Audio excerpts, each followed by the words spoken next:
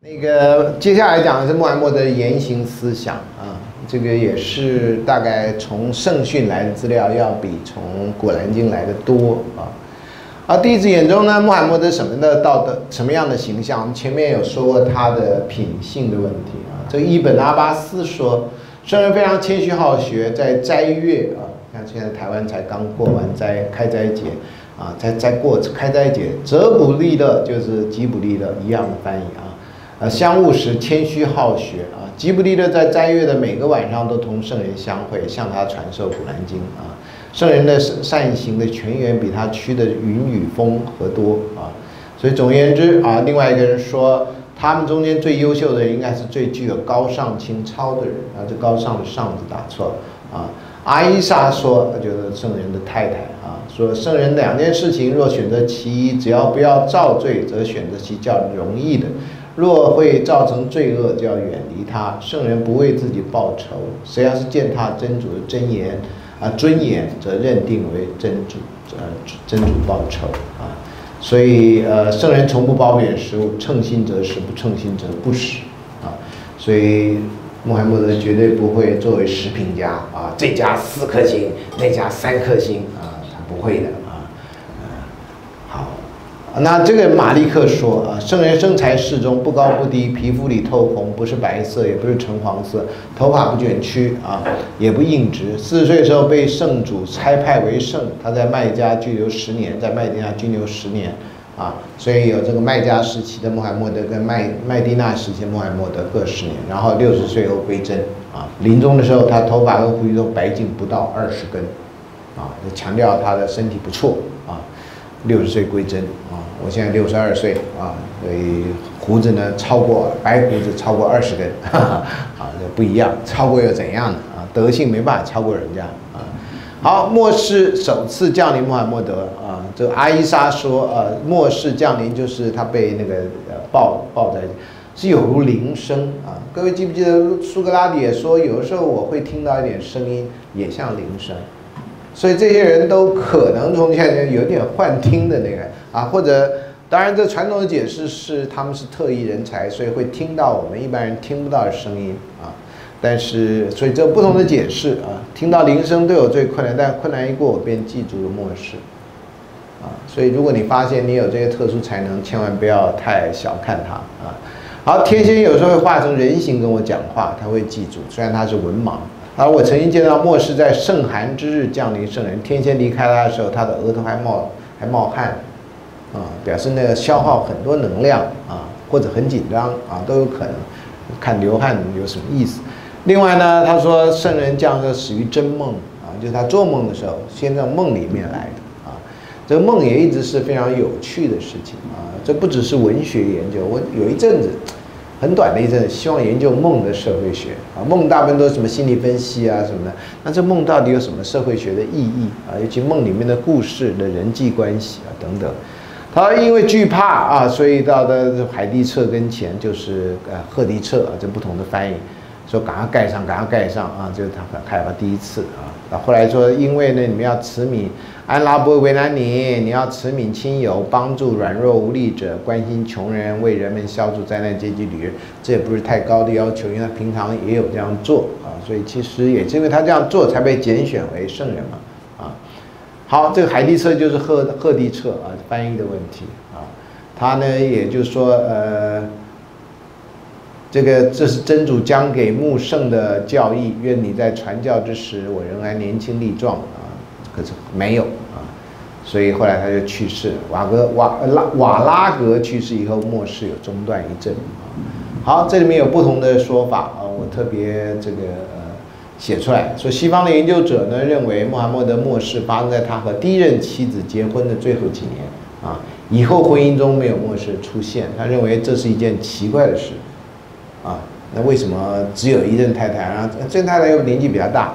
所以这是西方研究者的一个发现。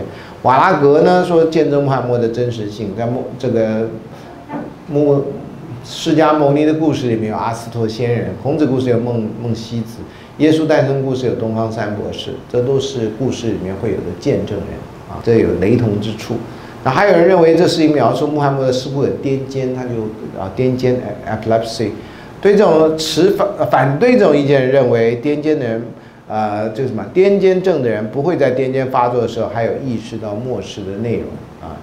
不过这个人，这个人就是这个人啊，Warrior 啊，Warrior 根据当时精神医师的意见，当时是至少一九二八年啊，认为在癫痫发作之前是有意念的，癫痫发作之后会呈现梦般的回忆，以后在意识跟理性完全恢复之后才变得更加有理。所以呢，这个西方学者 Warrell 啊，显然认为穆罕默德有癫痫的可能性极高，在强烈发作以后，想成是天使要降末世给他。啊，这很多宗教的故事，很多呃其他的科学的人士都尝试从科学来解释，但宗教人士对这科学解释并不以为然。那同理，宗教人士、科学人士都觉得你们这宗教人士明明是一个科学现象，你一定要从宗教去解释。所以科学跟宗教有时候就是鸡同鸭讲啊。顺便我也说明一下，啊啊，我们讲这堂课啊，主要的不在于宣扬迷信啊，就告诉你说这些人相信这些事情，啊，这些事情是这样啊，你可以根据你的理智，根据你的宗教立场来判断啊。好，那这个说木圣说行经的女人跟无大境的人根本不能读天经，啊，就是你要读读这意思，那个古兰经你得好好洗手，如果你是男的啊，不能说呃上完厕所没洗手就来翻古兰经。啊，那如果你是女的，你那时候在月经期间，你不能读《古兰经》。这当然现在对我们来看是有一点，洗手看《古兰经》这点我可以理解啊，因为当时书很少，怕你污污染这个书啊，然后也是一个尊敬啊。但是女人在月经的时候不能读《古兰经》这一点啊，我想这个是一个要怎么说？大净跟小是沐浴的意思，就是佛教后来都叫斋戒沐浴。其实原来中中国人只有沐浴，没有斋戒，啊，没有特别要讲的。所以呢，我以前买《古兰经》的时候，到那回教回教文化清真寺啊，在更新文教对面的一个巷子里面啊，从外面看不出来他在里面啊。那个阿红就跟我说：“你读《木兰古兰经》之前啊，《古兰经》之前你得洗手啊，你还得把《古兰经》放在最高的地方啊，他有这样的要求。”好，那这个呃，伊斯兰教有所谓的五功啊，五种啊，一就例行拜功啊，要朝那方缴纳天课，拜功要五次啊，缴纳天课好像也是十一奉献的意思，还有朝觐天房，你这一生要去呃麦加那个天房去朝圣一次啊，还封拉玛代的斋，就是要守斋月啊，那斋月是一个月，是回教的历法啊，最近开斋节。所以这是回教伊斯兰教的五功啊五种，那这边有讲哈，这五五功是什么样的一个？就是例行拜功、出纳天课、朝觐、封拉玛旦之斋啊，所以几几乎都是这样啊。他说真主说你们要面向太阳升和太阳落的方向啊，并不为真善，只有归信真主末日天仙经典啊，这是说你要信啊，真主末日天仙经典列圣的异行。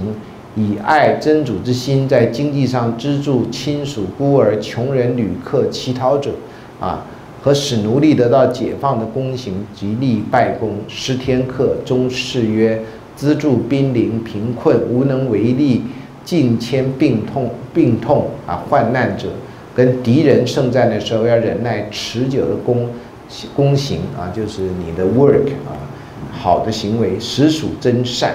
所以你要做这个，包括你要打胜仗、胜战啊，这与敌人胜战是要坚忍持久啊。当然，胜战现在变成是伊斯兰教的一个大家对伊斯兰教的一个强烈的印象。那到底是什么意思？有人说胜战原来意思不是那个，胜战原来意思就是说你要勤奋的工作的意思而已啊。后来变成战争，是因为你被欺负了，所以你要报复啊。有人是这样解释。当然，在西方的立场里面，那圣战就是恐怖分子的介词。所以这个两个的那个。那个误解就更深啊，这这很可惜的事情。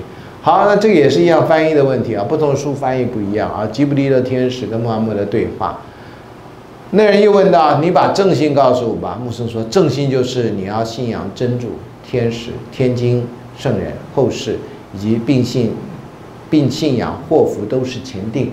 祸福都是前定这点是一呃新教改革以后，在伊斯兰教后很后面，大概十六七世纪以后啊，就大概一千年以后，新教才出现了一个叫前定论，就是特别是呃加尔文教派或加尔文宗才有个前定论，认为这前定呢就是人的善行或将来会不会变成会不会升天堂，是你在诞生之前就已经决定好了。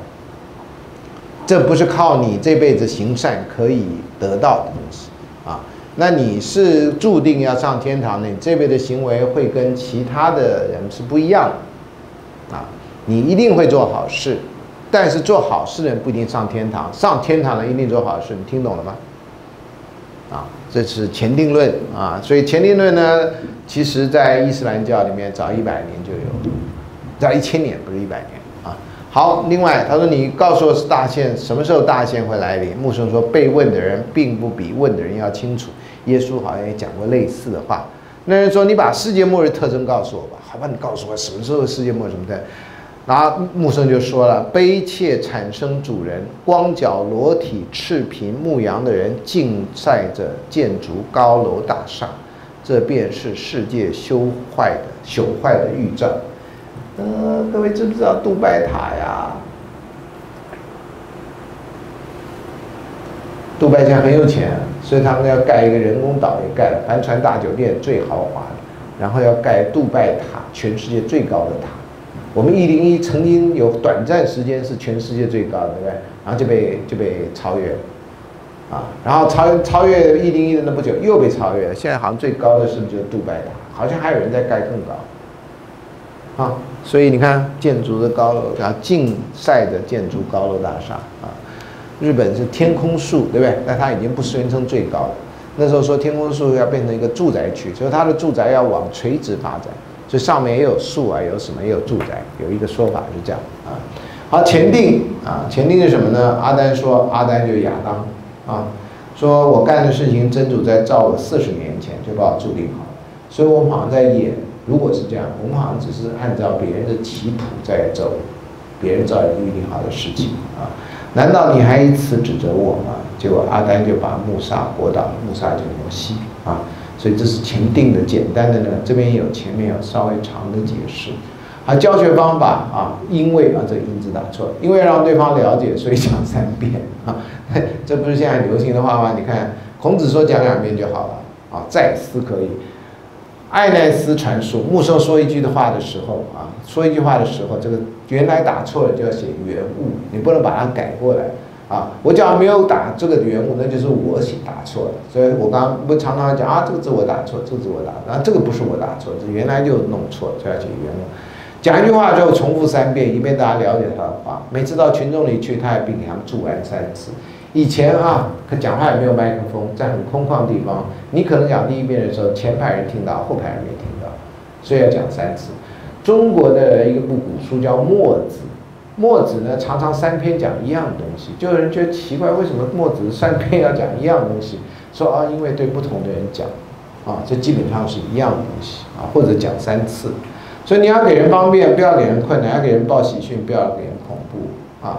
我想要给人报喜，不要给人恐怖，讲的大概就那些天使啊，来报答，吓死人的啊！好，这个完美的信仰什么呢？马利克儿子说：“你们每一个人爱我胜于爱自己的父亲、儿子跟所有人，这样你们才算有完美的信仰。”这句话跟耶稣讲的差不多的话啊！你们要爱，如果爱我不超过你们的父母，就不算什么。你们一定要爱我超过你们的父母。这句话是这样的意思啊，但上次我们也说过，在克普地文克普地文里面，那个好像是相反的意思，但圣经里面现在还是这样讲，所以这句话跟圣经里讲的话没有什么太大差别，就是你要把真主超爱的超越到你的父母亲之上。所以现在有些师傅啊，也都是这样的啊，就是你要爱师傅啊，你家人算什么呢？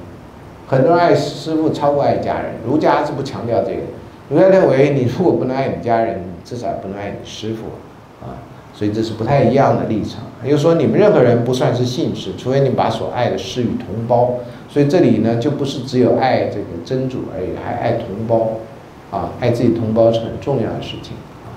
好，又说谁具具备了三种美德，就得到信仰的美味。第一个，你要爱主，爱圣人，主就是安拉，超乎任何人之上啊！所以这跟前面那句话呼应，只为真主爱人，厌恶叛教，犹如厌恶被人投入火狱一般啊！所以叛教是不应该的，在这里说，不侵害大众生命财产的人才是真信士。如果你说圣战，那如果你还不侵害大众生命财产，你怎么圣战杀了无辜的人呢？这就不是信士了。我真的是我伊斯兰教徒，就不应该这样。所以这个有的时候宗教内部有很多相矛盾的话语啊，就看你要选择什么。像我觉得这样的是一个比较，我至少我比较能接受。好，一个人问穆圣说：伊斯兰教认为什么是最上的功德？穆圣说：救济穷人，给熟识人跟陌生人问安请请安问候。所以救济穷人这一点是非常重要的，所以伊斯兰教里面就常常做这样的事情啊，因为他有这样教诲啊。那这个其实，在大部分的宗教都是这样啊。好，他说穆圣说有三件事情是正信的章本章本啊：一，承认万物非主，唯有真主，我们就不应该为他犯一些罪过，伤害他，断他为叛教，驱逐他于正教之外；第二，自我奉命称圣，直到世尽，战斗都是必要的措施。啊，如果你是圣战士，你当然要相相信这样的话。那时骗子骗子手出世，强权者霸道，跟贤明人的人士公道都攻不败他，而伊斯兰民族的最后一个人把他歼灭。三要信仰前定，这个第二句话，看你要怎么去解释它。啊，杀到最后一个人吗？最后一个人叫这在中国古代有个说楚虽三户，亡秦必楚。就是杀到我们楚国人只剩下三三家人，我们最后还是要把你秦朝给灭了。这当然只是一个誓言，表达你的一个一个一个态度啊，不表达那是历史的真实的状况，这有点类似啊。好，阿卜杜拉本买斯伍德传啊，这不是传啊，传传述这样。他说：“我曾经问圣人，什么功课是为真真主喜悦的？说按时礼拜嘛，啊，第一个，然后是什么呢？啊，孝顺父母。”所以孝顺父母，不断的说过，这不是中国人才有的美德，也不是中华文化里面的什么独特的，这是几乎是所有宗教里面都这样强调，包括苏格拉底啊。我们常常讲很多事情，说苏格拉底是例外，苏格拉底没例外。我花很长时间告诉你苏格拉底怎么劝他儿子，对吧？啊，然后又什么为真主之道出战？那这句话就看你要去怎么解释它啊，为真主之道出战。啊，那现在叫吉哈，吉哈当然就变成翻成圣战啊。圣战有我我在网上看，有人说有比较宽广的意思，那有人就说那就是打仗啊，杀死不信你的人呢，那就比较狭窄的意思啊。台湾的伊斯兰教徒基本上是最温和的伊斯兰教徒，从来没有过任何在什么九一一之后什么之后，别的地方都可能有一些摆炸弹啊什么什么，台湾的伊斯兰教徒都没有做这样的事情。啊，伊斯兰有一个意思，就是顺从的意思，啊，有一个意思是和平的意思，也有别的意思，在讲义里面有。好，那什么叫罪恶啊？他说，你们谁看见罪恶，就应当用手去改革它；如果不能够，叫喉舌去劝阻它；如果再不能够，叫用心去憎恨它。心的憎恨是顶，便是顶懦弱的信仰啊。所以他说，你对罪恶怎么办？那不是容忍罪恶，你要改革它。好，你们不要犯七种不义者之罪。说是使使者是什么呢？就是为真主举办啊，这个啊，太寂寞了一个人，我们替他讨个太太吧。啊，这个绝对不能这样。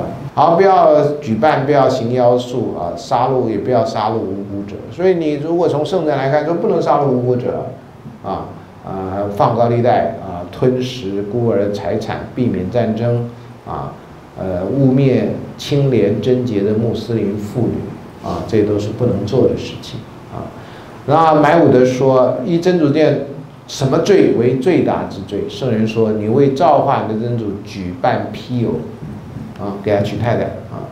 他说，这当然最大罪。然后就厌恶抚养而杀死你的孩子啊，这是第二大罪。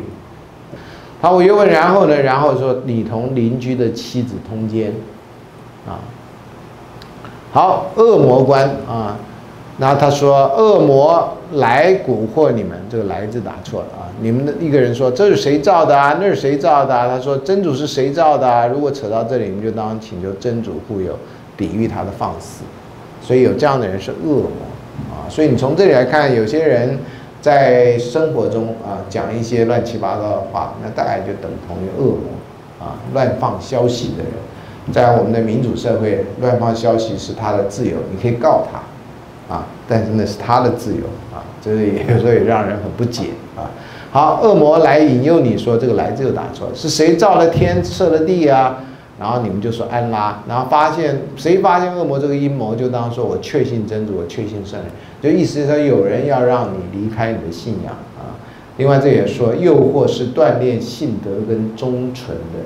啊，就常有人诱惑你离开那个教啊。好，有一个恶魔，名字叫做沃里汉，专门破坏小径，所以应当防止这个恶魔。这大概是指男人碰到自己上厕所的话自己生殖器忽然间性欲大起啊，那这是一个恶魔搞的鬼啊，叫做沃里汉啊。好，阿布顿拉说啊，穆罕默穆圣本来是忠实可靠的人啊。他给我们讲了这段圣训，说每个人的原旨，这里面讲生命怎么来的啊？凝结在父母的肚里，四十是一团筋，在四十变成血块，在四十变成肉团。这当然符不符合现在的医学知识，我不敢说啊。呃，然后天使奉命给他输入生命，给他预见是，第一他给他受限、给养、工作、搏命和幸福，以唯一的真主盟誓，你们谁毕生干乐园的善功，以直他和乐园相离这一尺远。这时候命运输战胜了他，命运输啊，他犯了火狱的人的罪恶啊，必进火狱。这个进打错了，应该是进去的进。你们谁中天干火狱人的罪行啊？一直到他跟火狱相离只有一尺远。这时候命运书战胜了他啊，他干乐园人的善功，那毕竟乐园。所以乐园跟火狱是对照的，就天堂跟地狱了。我们一般的说法啊。然后信之时候永垂不朽善功就传授知识，阐扬文化，留下优秀的子孙，遗下立人的著作啊，建造礼拜寺，修给旅客的宿舍，俊通河流，仗义疏财。谁能活着做功，就死后流芳百代，经久不替。啊，这也是几乎不是伊斯兰教也一样的相信这样的功德啊。好，另外呢，他说 这个。我我我就觉得，男人的精液重而白，女人的精液呢是青而黄。我们通常不叫女人的精液啊，呃，男女的精液谁先射出，将来的孩子就像谁。这是伊斯兰教里面说穆罕默德说的啊，呃，各位大还不到这个阶段啊，但是你的亲戚里面有比你们长的，可能碰到结婚的时候要生小孩了啊。现在当然有科学可以检定性别啊。以前没有的时候呢，就有很多不同的说法啊，说哎呀，你怀孕的时候喜不喜欢吃什么？喜欢吃肉呢，就会生男的；喜欢吃菜呢，就生女的；肚子尖的呢，就生儿子；肚子是圆的，就生女儿。啊啊，还有更早的时候说，屁股大的能生，屁股不大的就不能生啊。说等等等等的一些呃民间的这种知识啊，这个也是在没有科学知识之前，那这个。我不知道，我觉得肯定也是没有科学知识之前的啊。好，另外说，女人的精液先于男人的人射出孩子，就像他舅父，啊，因为是母系那边的。男人精液先于女人而射出，那么孩子就像其伯属啊，这也是男方女方的这个都是男的，都讲男的啊。这里面也是一个说，夫妻交媾的时候，男人精液胜过女人，借真主的允许，将来必生男孩；女人精液胜过男人，借真主将来必生女孩。啊，这也是为什么要讲这个？第一个，这很特别，因为在我们讲的圣哲里面，没有人把这个讲成这样。这是唯一的啊，对人的生命的起源是这么说的。在罗马时代，有一本书叫做《物性论》，啊，事物的物啊。悟性论叫鲁鲁克列修斯所写的，我在爱情社会学里面有一章提到，他也有类似精液怎么样交错，呃，就怎么样呢？会生男生女的类似的传说，啊，这种说法呢，呃，我在现在的宗教经典里面大家只看到这个，所以列出来不是告诉你这是科学知识，不是这宗教知识，啊，佛教有一本经典叫做《佛说父母恩重难报经》。啊，他也对于怀孕的过程怎么样怎么样，反正都有一些宗教的描述啊，符不符合现代科学？我不是学这个，我真不知道。但是儒教就没有讲到这个啊，怀孕的时候会怎么样，会怎么样？所以这里也是一个非常特别的，就我们对生命的了解到底到什么层次啊？他们就到从这个层次开始啊。好，这里这个人说啊，他他说看听到木生说，妇女啊，你们要多多施施善，要常常求主饶恕，因为看到火狱里面你们妇女占多数，很多宗教。基本上对女性都是抱着歧视的态度啊！为什么火狱里面女人占多数？一个健谈的女人起来问真主的使者：“为什么火狱的人都是我们妇女啊？”这问的非常好。木生说：“因为你们肯咒骂人，辜负丈夫。在我看来，万物之灵的人类再也没有比你们妇女们在理智跟宗教方面损失更大。”哎，这个真的不太具有鼓励性啊！应该有的人是这样，那是这样的就跟性别无关，是这样的人都该下地狱，而不是说女人该下地狱啊。就算女人大部分人是这样，你也应该那不是这样的人也不会下地狱呀，不是应该这样讲吗？啊，好，他说因为你们咒骂人哈，然后那个女人问道：何以见得我们理智中的健全呢？这真是一个。很愿意讨论问题的女人，穆生说，在作证的时候，两个女人只能等一个男性。啊，然后这就是理智上的损失。妇女们有时候得停止礼拜，开启斋戒，这宗教上的损失，因为你们有月经。所以这个对于这件事情，在很多宗教上的对妇女其实歧视的情况还蛮常见啊。所以这个现在应该会有所改进啊，因为时代的问题。但这是。这是一本书里面讲的。好，这边有一段很长的注解，说明为什么会有这件事情。因为当时社会妇女在社会上没有地位啊。好，这是有解释，你可以去看。那个各位的作业我全部改完了，今天忘了带来啊。其中有一个同学去访问，在呃孔庙访问了一个妇女啊，他又觉得孔子对女人很歧视。所以他很讨厌孔子，啊，而且孔子不收女弟子，啊，我说孔子是没有女弟子，不是不收女弟子。当时有谁来跟孔子求学的？那个时代呢？这是时代问题啊！你要硬要这样子强调，我真的不知道，我真的不知道你你恨什么啊？你说这个有这样的话，你不相信可以？孔子并没有这样的话，就女子小人难养那句我也讲了，说近之不悦，远之则悦呢。所以你要跟女子或小人要保持一个适当的距离，没有说他们就该死啊，啊，所以这个很多人就《论语》那么多篇，五百个篇左右，你就抓这句话，你就讨厌《论语》啊？我觉得真的是，哎呀，你要自绝于日月，关于日月什么事啊？好，这个俄起社叫阿伊小啊，这不同的翻译啊，差很远啊，有的翻译阿伊莎，这个翻译俄起社。说木圣跟妇女借缔约，望他们恪守这段天经。你们不以物配主，就不要崇拜那个物的神，不要崇拜偶像啊。木圣除过跟他有夫妻关系女性之外，他的手没有触碰过任何女性的手啊，表示他是在这方面很守贞的啊。说木圣怀抱着侯赛尼的时候，突然他溺在木圣的身上啊，这个溺就尿了啊。鲁生说：“给你换一件衣服，把你的裤子给我，把它洗一下。”木生说：“女孩子尿必须洗，男孩子尿搓一下就行了。”这个也对我来讲，不都是尿吗？啊，那如果尿男的搓一下，那为什么女的就必须洗呢？这个事情对我来讲，哈，我有时候看到这种东西就觉得，到底是什么呢？啊，好，另外呢，他说：“男人不要看男人的羞体，啊，女人不要看女人的羞体。”然后男人不要跟男人赤身睡在一个大被子里，啊，女人也不要赤身睡在一个大被子里，啊，那这个当然你如果要很搞那个很搞怪的话，你说那我男人就看女人的羞体啊，然后呢，男人不要跟男人睡，那我就跟女人睡在同一个被子里啊，啊，当然这意思不应该这样推论了，这是我们有点诡辩了，那意思说不应该做这样的事情了啊，应该是这样的意思了，啊，当然有人会从这里看出这是反对同性恋的意思。啊，所以你知道，这是有时候经典的问题不在于经典本身，而在于你怎么去诠释它。尤其像这样的话，啊，能诠释的空间非常的大。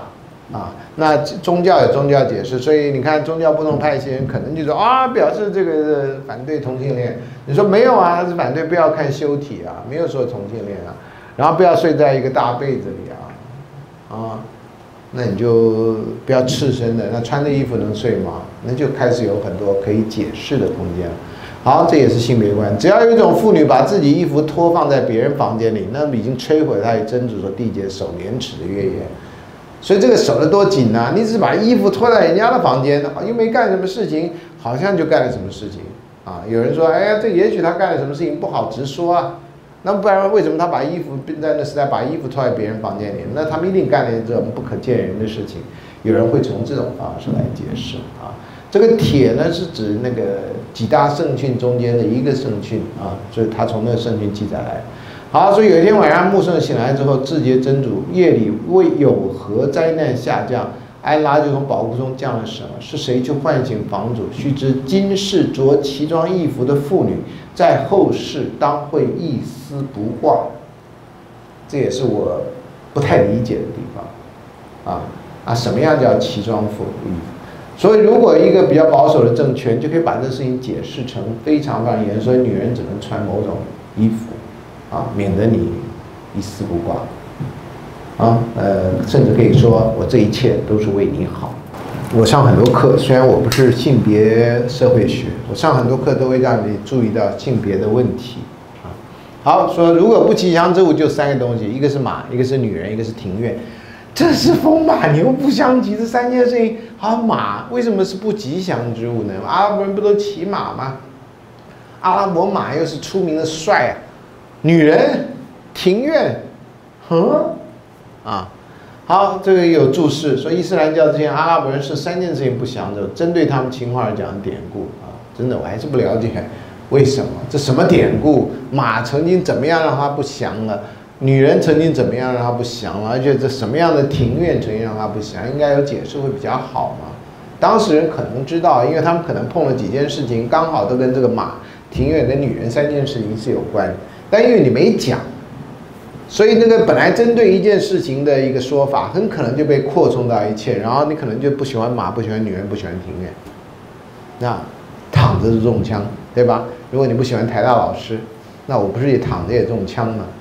啊，我刚好就是台大老师啊，你不是我不喜欢台科大老师啊，那那就不知道了啊。好，在购买在发生贱买乐事件的时日里啊。我现在不太记得见买了是什么。站在埃沙跟他那块方面，快临近我作战的时候，承真主的恩典，得益于从施政内听到一句话，而始终未参加他们阵营。当伊朗人啊，这个伊朗是当时的伊朗啊，让克斯拉的女儿作为他们国王的消息传到圣人那里，说让女人统治自己是，让女人统治自己的人是不会成功的。那现在各国都有女性的领袖。那伊斯兰教显然，如果有人要反对让女人统当做统治者，可能就要拿这条出来说。圣人说过啊，让女人统治自己人是不会成功的。如果是这样啊，这里因为也是穆罕默德说的，所以有时候你要讲什么话或做什么事情，拿这样的话恰不恰当？啊，恰不恰当？我个人认为是不恰当的了啊。好，对男人来说，女人并非是祸害。你看这句话又转过来了。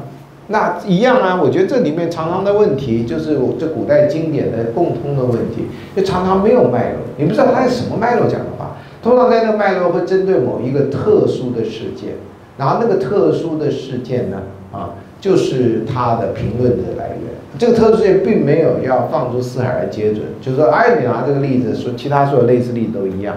我有觉得有时候没有这样啊。好，这个人说，牧师说，女人同如同弯曲的肋骨。若想矫正它，你就会弄断它；你若想用其天生的弯曲，则会得益于它。那这句话具体有什么意思呢？这边说你不要像殴打女奴隶那样殴打妻子，哎，听起来又是我，又是不要家庭暴力，对吧？然后呢，须知在殴打当天的夜里，因为你又会同他睡在同一个被窝里，那什么意思呢？说你既然爱他，就不要打他吗？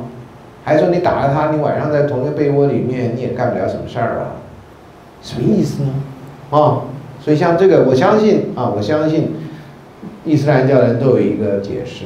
而且如果我要从正向解释，我也可以解释说不要打他，然后只是不要打他是重点，那只是以这个理由告诉你，最后还是要跟他睡觉啊，他还是你孩子的妈，你打他干什么呢？也可以从非常非常正向的立场来劝服，不要殴打妻子。这样好。理由奇怪，我这里说了哈，啊，可能对当事人觉得不奇怪。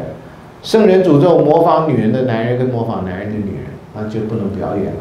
伊斯兰教是不太强调艺术表演，啊，他们的在最大的艺术就是伊斯兰书法，啊，所以你看这个很多书都有伊斯兰书法在里面。哎呀，刚好都没有，哼，真尴尬啊！讲完了没有？其他书有啊，伊斯兰书法啊。那个清真寺啊，就是青城南路那家清真寺啊，呃，有几天教伊斯兰书法啊。好，马利克的儿子说讲讲家人，你们每一个人爱我胜于爱自己的父亲母亲，这样你们才完美信仰。这刚刚已经出现过的一句话啊，我刚刚也说过，跟耶稣差不多。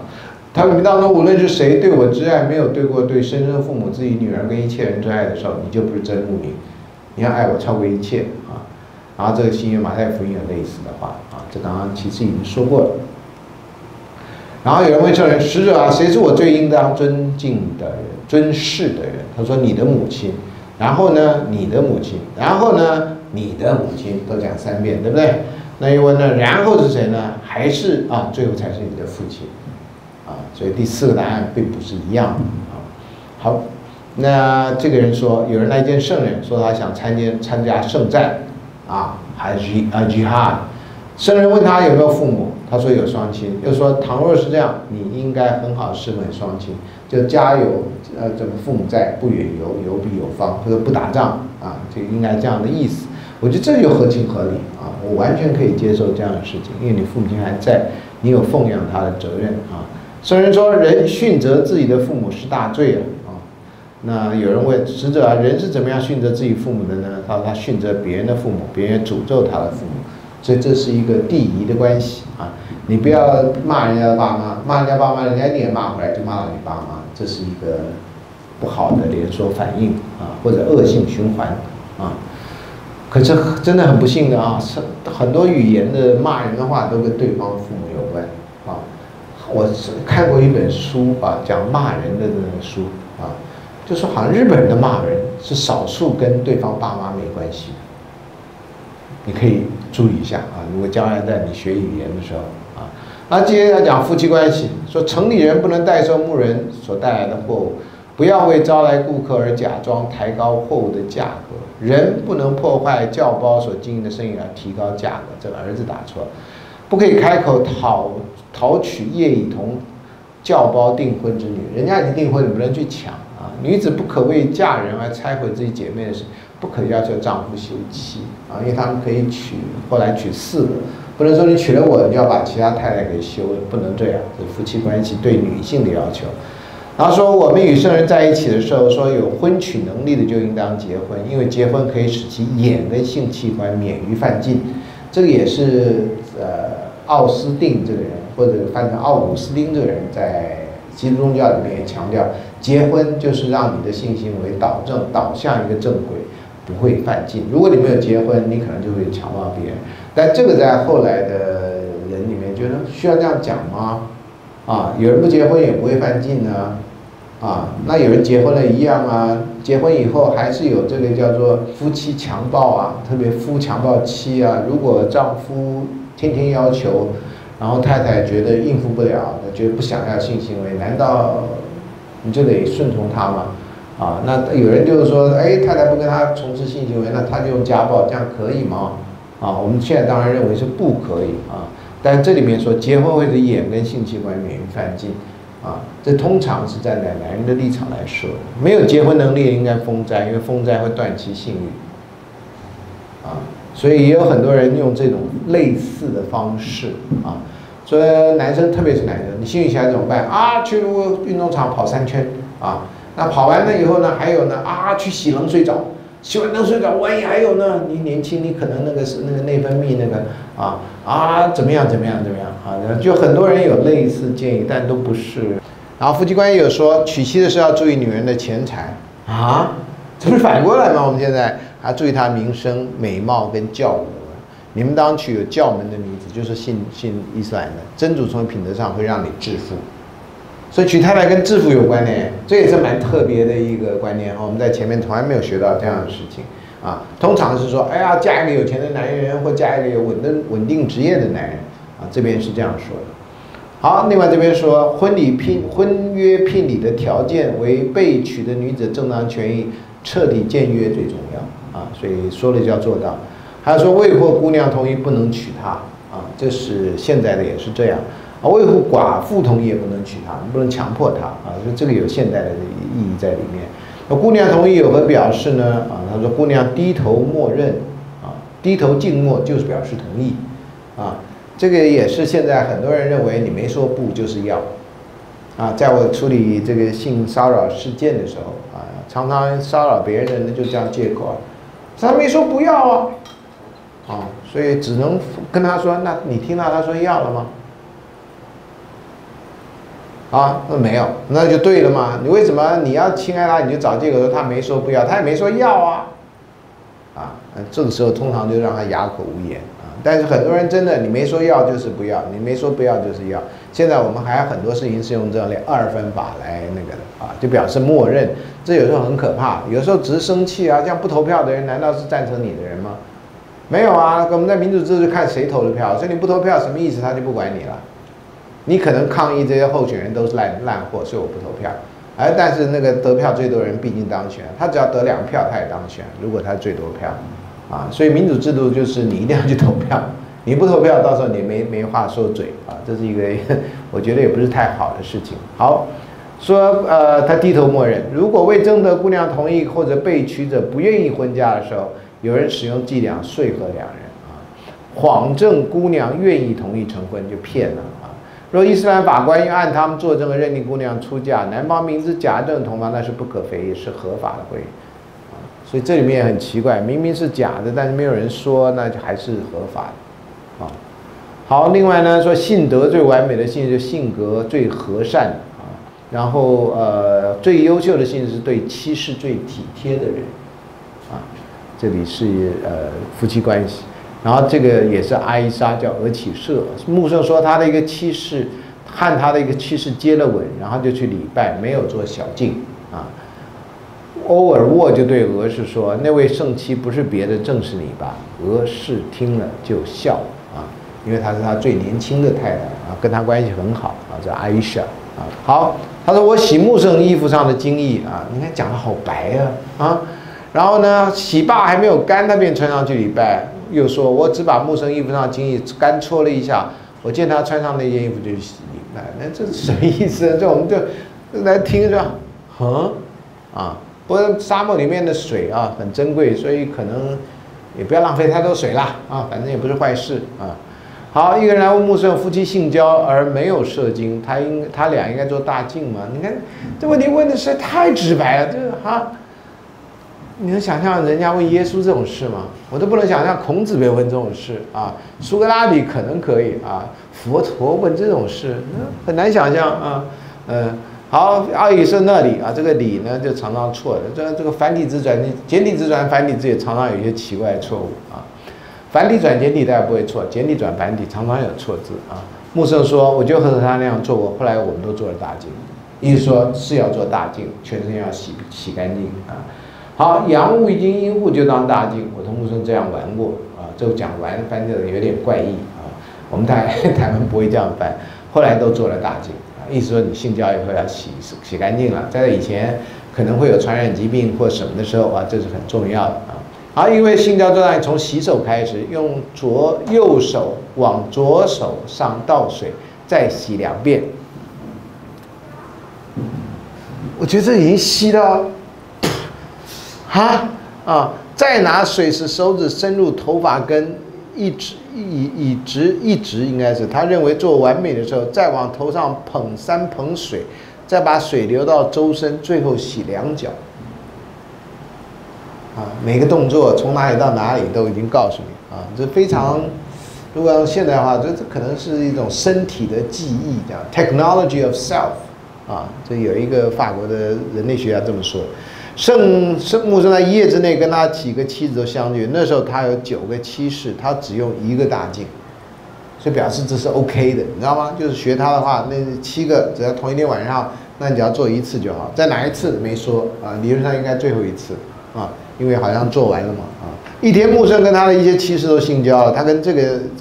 他在这个跟前洗大净，在那个跟前洗大净，还是说主的使者怎么不做一次大净呢？他这样是最捷径的。所以这里说做一次，这里就做好多次。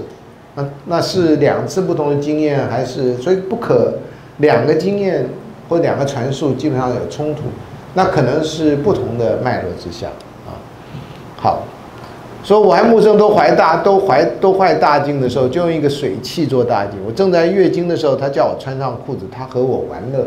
这个翻译也是有点，哈，你看觉得木生正静坐的时候，我的月经来潮，他探出头来，我给他洗头，啊。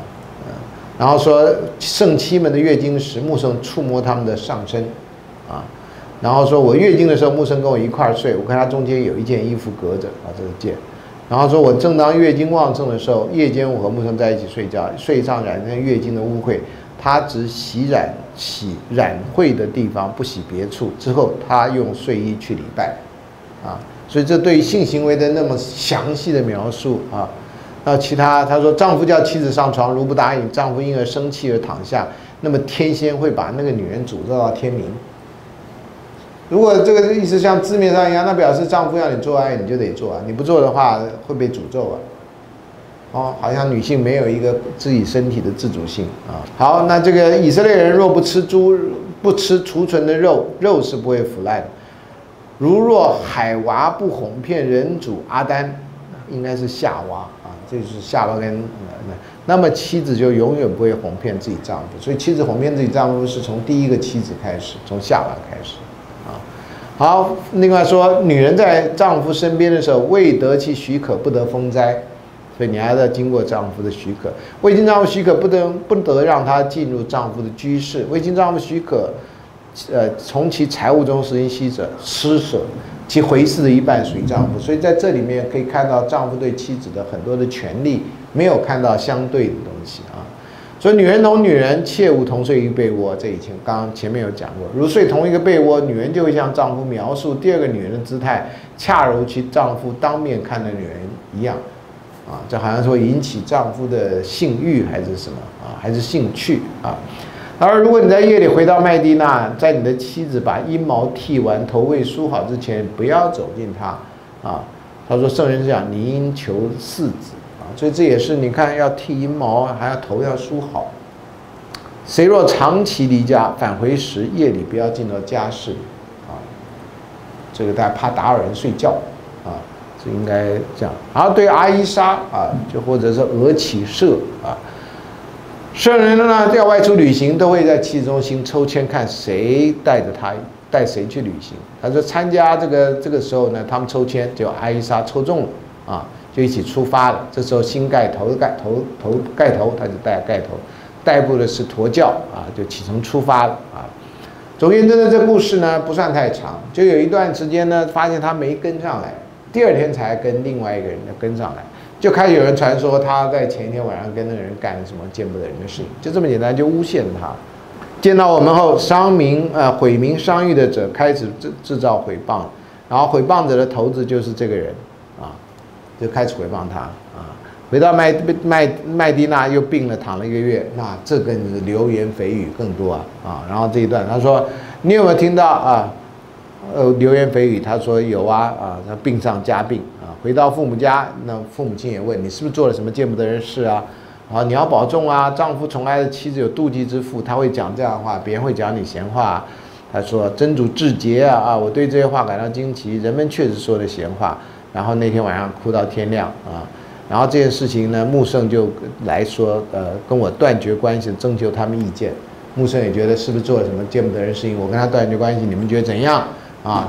就后来噔噔噔，他说：“呃。”使者啊，你的妻子是贞洁的，是这个人说的啊。说指真主发誓，我们认为他是好样的啊，他不会做这样的教事啊。所以这个阿本阿里本艾里艾比塔里府就是说，在讨妻子上，真主没有亏待你。除阿伊莎之外，女人不是很多吗？你问问阿伊莎的佣人白丽拉，他会讲实话，就把白丽拉叫来说，你有没有什么可疑的行为吗？他说你是真主发现阿伊莎什么可疑的行为？他说没有。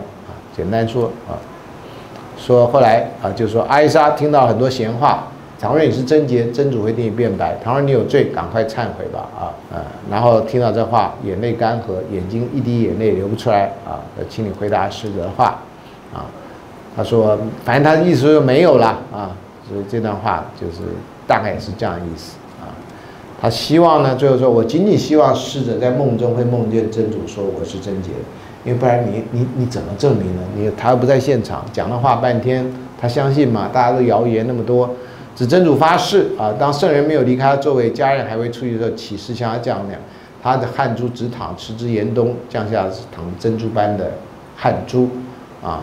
然后说好吧，阿伊莎，你赞叹真主愿安拉替你昭雪。最后是靠着这这安拉的这个对他的降世啊，他才对他误会兵士啊。所以呃，现在这个时代啊，真的是一犬废墟，百犬废食。十个人都说你有，你大概说没有也很困难。这就是为什么大家要养网军啊，就要制造对对方不利的啊，这也是这个民主制度的坏处啊，因为你要查证要告，有时候都太晚啊，然后但是呢，你的名誉已经受损啊，这个在选举里面常常有这样的事情。说论清洁啊，爱好清洁，所以我呃清真寺非常非常的干净啊，啊还做大镜啊跟小镜的问题，说你这种病只要小镜就好了啊。好，大小便的规定跟前后翘啊。好，这个他说，穆圣每次大解的时候总是走得远远的啊，不要让人家看到啊。然后呢，呃，穆圣要出宫的时候，出宫就上大号啊，这个古代话，更没有人能瞧见他的他的旷野啊，所以走到很远的地方你都看不到他。不过那个沙漠里面你要上大号有点困难，因为没有什么草丛啊、树啊遮着啊。所以穆圣每到厕所去必推下手章啊，这到底什么是手章？手上的一个什么东西？到厕所去要念主啊，我求你保佑，莫让我遭受卑鄙男女的烧害啊！啊，肯定那时候可能有人有不好的习惯。说你们进茅厕的时候，在精灵的眼睛跟人类修体之间掩护，于是念以真主的尊名啊，上厕所要念这个，呃，我们都不太能想象。穆圣大姐的时候，大姐就是大号啊，不提高衣服而挨近地面。我我真的在做这讲义的时候，我一边做一边觉得真酷啊，真特别啊啊，讲那么细啊啊，他不害羞，我也不应该害羞啊。可是我真的还是有点害羞，连我现在讲起来都觉得，嗯啊，好说不要两个人一起去上厕所啊，露着修理互相谈天，因为真主呃厌恶这么做。但有的很多国中生啊，实在很无聊啊。尤其男生啊，会做出很多很奇怪的事情啊。阿木生正在小便，一个人经过跟他道安，他没有回答他啊。这也是有时候在上厕所，同男同学会跟老师打招呼，老师好。你想需要打招呼吗？正在做那事儿，对不对？啊，还好老师没有这个其他的疾病啊，不然的话在那站半天也尿不出来就麻烦。你们随进厕所大便的时候，不要朝向天王，不要背向天王。你们朝东朝西可以自便，就不要朝那方向。所以你上厕所还得选方向啊，记住啊啊，不要朝那方向。然后你们小便的时候，不要用右手拿生殖器，不要用右手洗尿，不要吹气。听说印度人也有一个规定，因为印度人一手要抓饭吃，一手是你要处理这个比较肮脏的事，就认为肮脏的事情。所以这个跟伊斯兰教有一些异曲同工之妙。如果你光是用手啊。呃，所以他不要用右手，是因为以右手为尊。我上次说过，呃，我在有个地方看到说穆罕默德穿鞋先穿右手右右脚，所以大家要跟着他穿右脚。那左撇子或奇怪，其实这是他们有人认为穆罕默德做的事情其实无伤大雅，你不跟他做也不没有关系。但有些比较保守的人就觉得穆罕默德怎么做，我们就得跟着怎么做，这样才对啊。所以他们自己内部也有一些不同派别的做法。所以你要防备两种可诅咒的事件，什么呢？主的使者，那就是在大便在人行道上跟大众切两的地方，这是没有道德的事情，对吧？啊，那可见他还要教啊，就表示有人是那么没有道德。因为有时候在沙漠里面啊，那个地方比较阴凉嘛，那你想着阴凉，我大便也阴凉，那没想到等你走了，后面人来了，对不对？你又不是狗，对吧？狗有时候小便是没办法，它一定得在那个柱子下面。好，这个有有个人说，呃，你们避开三种人遭恶吗？大便在水道、路中跟乘凉处，啊，这是一样，啊，要规定到这个地步，我还是对这个赞叹不已啊，啊，呃，可是他们有人说，因为伊斯兰教徒呢，在以前真的是没有什么知识，你必须讲到那么细，啊，我国中的时候，台湾提倡国民生活须知，告诉你不要走路吃东西，不要走路勾肩搭背，不要走路怎么怎么样。我们还放电影啊，所以可见我们当时的国我国中时期的台湾的文明程度也是不高的。啊，也是不高的，所以需要那种国中生去学这种，告诉你不要这样做。我最觉得最搞笑的是不要走一边走路一边吃东西，因为那时候人都很穷，谁有钱买东西吃啊？就去零食。国中生，国中生食量又很大，我就不记得我国中的时候有任何人在下课到福利社买东西吃，没钱啊。你怎么会有买东西还要边走边吃？啊，我那我就觉得那个我那时候在乡下念书，我觉得这可能是都市人比较有钱他会那样。那现在日本的那个有些地方要求观光客不要边走边吃，啊，呃，可是你是观光客边走边吃不是很像在观光吗？啊？所以很尴尬啊！我这个作为有时候真的很饿啊，他希望你站在一个地方或坐在一个地方吃，不要边走边吃啊。我觉得我当然很少机会了啊，边走边吃我机会很少，但是含着嘴巴含东西走路那当然是有。好，谁站在女人四女人的四肢之间跟她交媾，虽无射精也当大进啊。然后呢，阴茎跟阴户相互摩搓也当大进啊。然后这里说穆斯林的判决按照夫妇性交射精后才洗大净，否则不洗。这是伊斯兰教初期穆圣给大家宽大方便的方法，后来就改了，说夫妻性交没有射精也得大净，啊，所以伊斯兰教对这个也想了很多啊。说主的使者啊，真主不耻笑真理，一旦妇女夜惊夜梦遗精的时候，也应该大净吗？说是的，父母看见妇妇女看见精液时就应当大净啊。主的使者啊，女人也会梦里遗精吗？穆圣说：“你的经验太贫乏了，女人没有精液，儿女怎么跟母亲的形貌相似？但我们现在不认为女人有精液啊，啊，所以这是当时的想法啊。有人请教木生：一个男人醒后只见精液的呃司机而记不起梦遗，那么大男人该做大镜吗？啊，圣穆圣说需要大镜。那一个男人只记得梦遗，却没有看到精液。”那要做吗？他说他不需要做，所以以有没有为主，不是以你梦做不做梦为主。那温姆素赖木说，女人醒后看见一精液的司机也当做大镜吗？说对呀，啊，男人女人一律平等啊，是讲这件事情啊，不是讲法律上的事情啊。好了，我其他我就不要念了啊，因为你大概 you get a picture 哈，你大概在可以举一反三，就对这种小径啊、大径啊这种规定啊。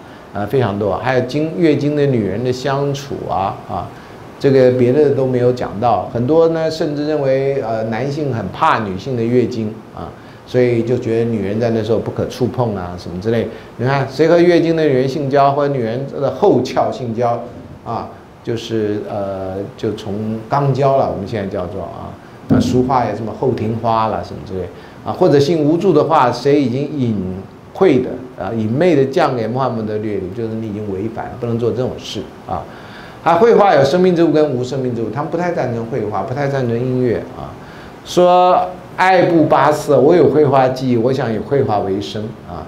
一本爱布巴斯对他说：“给你讲讲我从使者那里听到的话吧。我曾经听到使者说，若画有生命之像，真主会让你为画像注入生命，以示惩罚。你画了，它就变成真的，吓死你。画家绝对给。”给他注入了不了的生命，注入不了生命啊！那人听完之后听得发抖，颜色蜡黄。一本艾布巴斯对他说：“你若无其他生计，仍想操持记忆，可画树木之类没有生命的东西，所以不要画有生命的东西啊。”说复生之日就复活之后，在真主面前遭受烈刑者，当为坏画有生命之物的人。说你画生命之物，将来是会被审判的啊。圣人如见到家里会有生物像的任何东西都要毁掉，不能画有生命的东西。简单讲是这样了啊。好，算卦跟自杀都是反对的啊。人们就曾经就算卦询问过圣人，当然他不像中国人的卦那样，算卦的话不可信呢。说师者他们有时候对我们讲的正是那样的。他们之所以说的对，是因为他们来自天仙那里窃听了密语的魔鬼。他不是讲几率啊，不是讲什么啊。魔鬼向他朋友算算卦者说了这个故事，算卦者加上成百句假话到处传播，所以他认为算卦是魔鬼跟魔鬼的一个交易。然后说跳崖自杀者在火狱里永远处于下坠之状，服毒自杀者在火狱里手持致死的毒药，永远处于吞食毒药之状。以刀自杀者在火狱里，这个“里”字打错了啊，手持利器永远处于自刺其腹的状。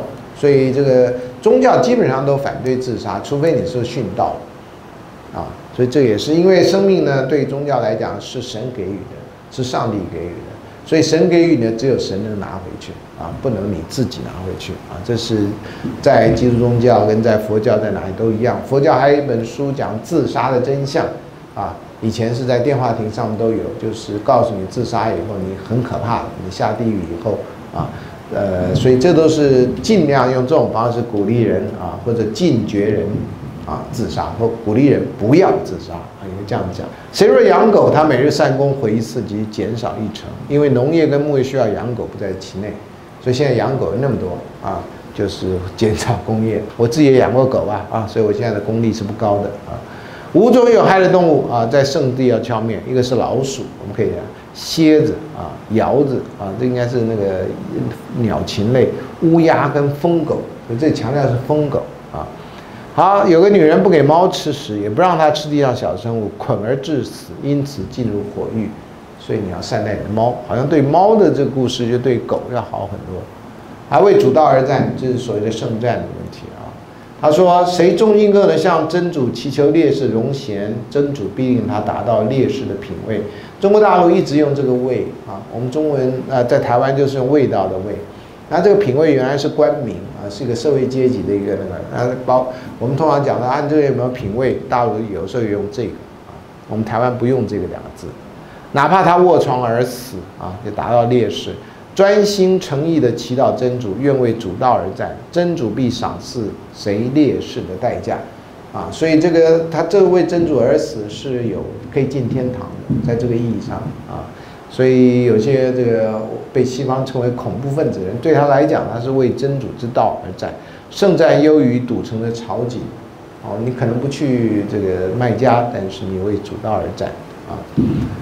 好，说这个圣人询问谁是最优秀者，说以生命财产为安拉之道出战的人是最优。然后呢，进入一山谷，笃信正道，危害他人。当然，这个为主道出战到底具体意义是什么？啊，这个是另外一个问题。他为主道出征者呢，真主深知其为主道出征，有日白日风灾，晚上不睡而礼拜的，真主担保其道出征者殉道后立即就是天国。或赐其恩典平安的返回，或带着战利品平安的返回，啊，所以这个确实在圣这个古兰经里面有对于这个，但这个是不是鼓励你去杀害无辜的人啊？跟这个为主之道出战，其实应该有个落差的。所以这里面的重点就在解释的问题。说烈士有五类啊，死于瘟疫者，肚痛致死者。水淹而死、强压死者、为主道出征而死者，这都叫做烈士啊。所以你要断章取义都很容易的啊。各个文化都是这样。好，那反对自由派啊，说自由派是伊斯兰教民的拜火教徒，他们患病的时候，你们不要去慰问他们；他们死亡的时候，你们也不要参加他殡葬。然后说你们不可以跟自由派座谈，不可理睬他。那自由派具体而言是什么？不是现在的自由派的意思吧？啊。所以伊斯兰的民族里面，自由派呢必被大地所陷溺，或变为兽形，或被飞沙走石急死啊，这都是诅咒人的啊。所以这是讲到自由派啊，讲到火狱啊，就是地狱了啊。你没看我用红色的啊，说火狱啊，像其养主树：“我真主啊，我自己吞吃了自己。”于是安拉允许他夏天出气一次，冬天出气一次，总共两次。这是你经历的夏季酷暑跟冬季严寒。他认为有这样的原因跟地狱吐火有关系。好，他说你们今世烧了柴的温度只及这个地狱火力七十分之一，所以地狱呢都被描述非常炙热啊，这可能跟那个地下岩浆他们看到的火山有关系啊。好，那说多少倍这个，这都不是现代科学知识了啊。好，这个是火狱，那三种人要投进火狱里面啊。后世第一个被审判的人就为主道殉道的烈士啊，天使会把他们带出来，把他恩惠显给他们，让他们认识得很清楚啊。然后问他说：“你为什么笑命疆场呢？”他说：“我为你的，为为你而战斗，杀生成人。”主说：“说谎了，因为你奋勇杀敌，目的是想得到英雄的荣誉。那么你已经被人歌颂过了。可这段听起来又很像不主张为主道殉道，特别是你其实为主道殉道是你要得到英雄的荣誉，还真不是为主啊。所以这里这段你要怎么解释的问题啊，也是这样。真主说罢，就命天使把他脸冲地上。扯着头进火狱去了，你真不是为他的主道，你是为了自己的英雄荣誉。第二种人呢，知相学诲人不倦诵习古兰经的人，说哈，这种人要投入火狱，天使把他带出来啊，真主说你为什么苦苦自学？啊，我是为你啊教授而诵习古兰经啊。主说你撒谎，所以重点都在于这些人撒谎啊，对于天主撒谎。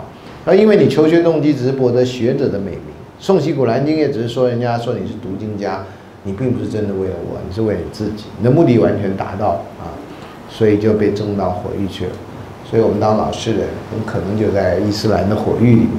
第三种人得到真主的洪恩而财富俱全的人，天使把他带出来啊，然后他说：“凡是你喜爱的道路，我都没放过，通通要施善。”真主说：“你撒谎啊，因为你出善的目的是让人唤你为慈善家，人们却称赞你啊，这就是一个叫做呃。”夸大自己的慈善功，好，真主说罢，就令天使照着他脸，把他投到火狱去了啊。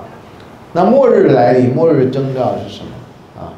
他说有一个人服装洁白，头发乌黑，不显一点旅行的痕迹，谁也不认识他。